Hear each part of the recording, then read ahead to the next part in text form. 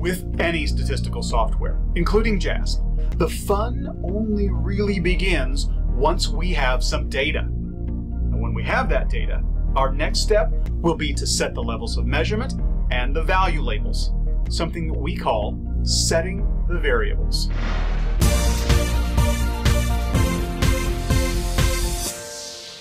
The datasets included with JASP come in two file formats.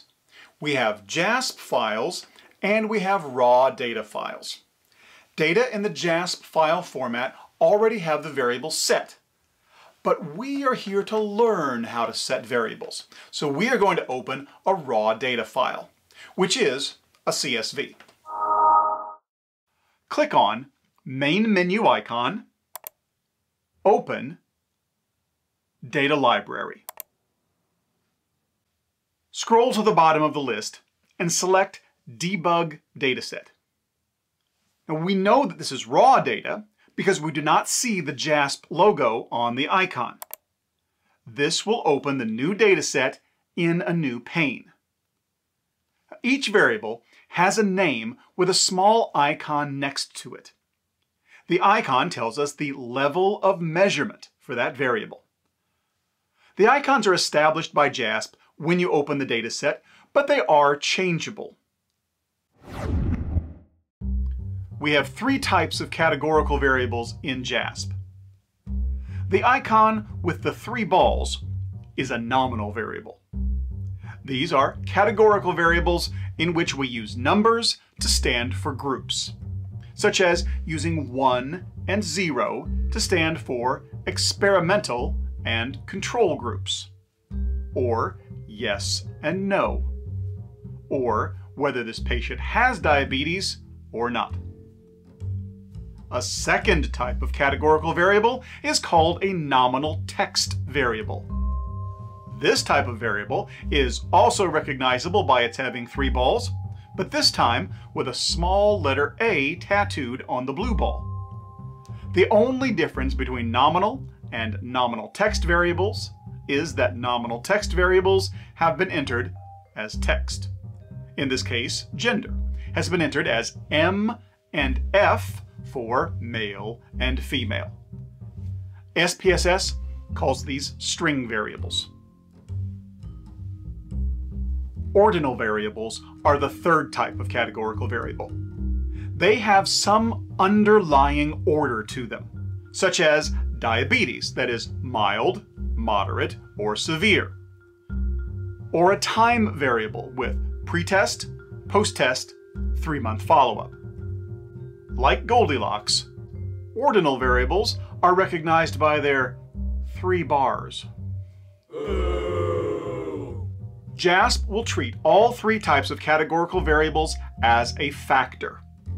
Factors are groupings that are often used as independent variables, such as in a t-test or a factorial ANOVA. The fourth level of measurement in JASP is continuous numeric data, or what SPSS calls scale data. Continuous data are signified by the yellow ruler because they are measuring something. Scale data often have decimals. Continuous variables do not have levels like the categorical variables. However, you can change the level of measurement for any variable.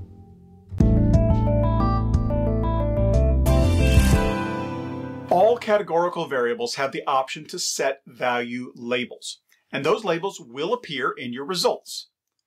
Click on the column name of the factor variable binomial.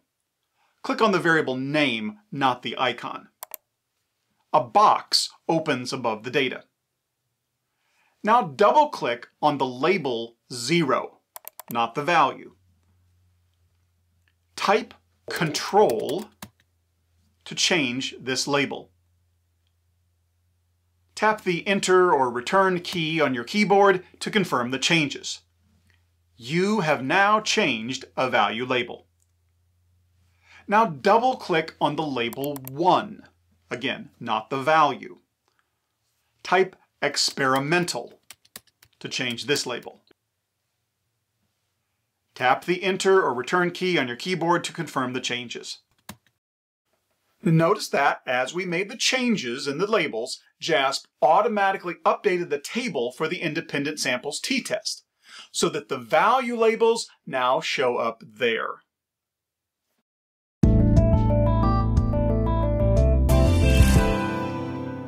Value labels can be reordered.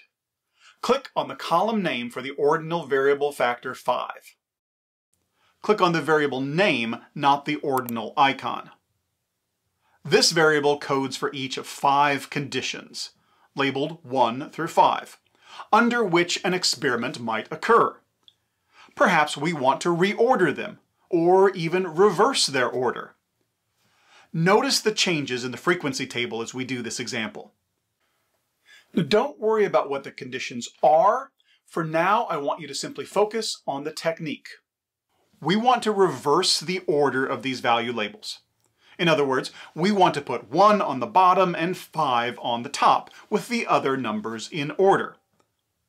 We could reorder one label at a time. Click on the label 1 and click on the downward triangle to move the selected label down. We could keep clicking until the numbers were reordered as we prefer, but that would require a lot of clicking. Instead, we should put the 1 back where it started.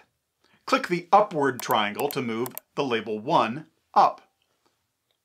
Now click the reverse arrows to reverse the sequence. This reorders the sequence as we wanted.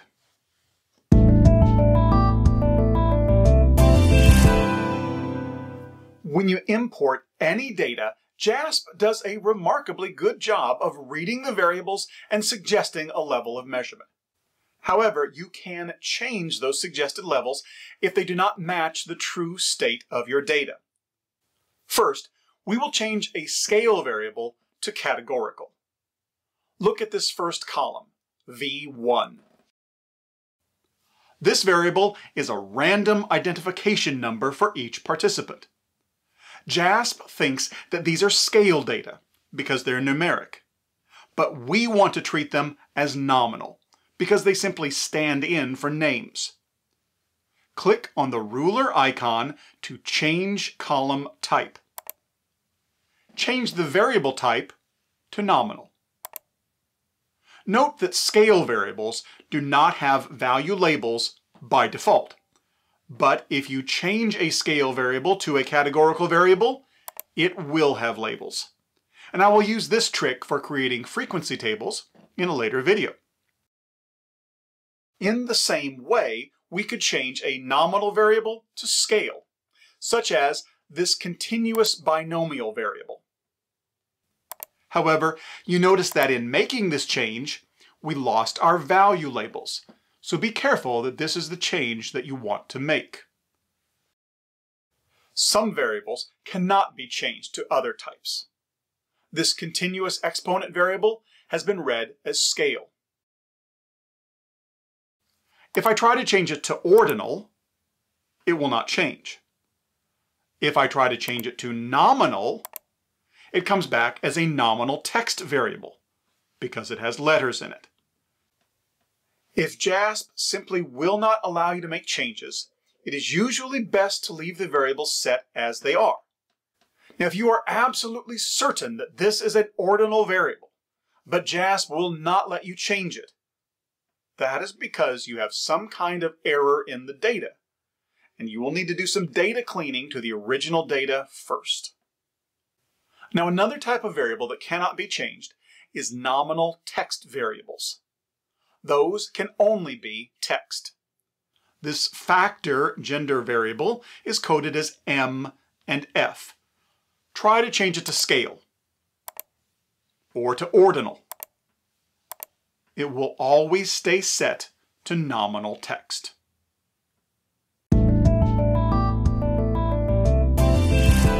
Some users prefer not to have to specify the variable types, which can be laborious, especially if you have a large data set. So the variable types in JASP are generally not enforced. They usually serve only as guides. So you could, for example, assign a nominal variable as the dependent variable in a t-test. Now in this situation, the nominal variable would be treated as a continuous variable. And by the way, this is the same behavior as in SPSS.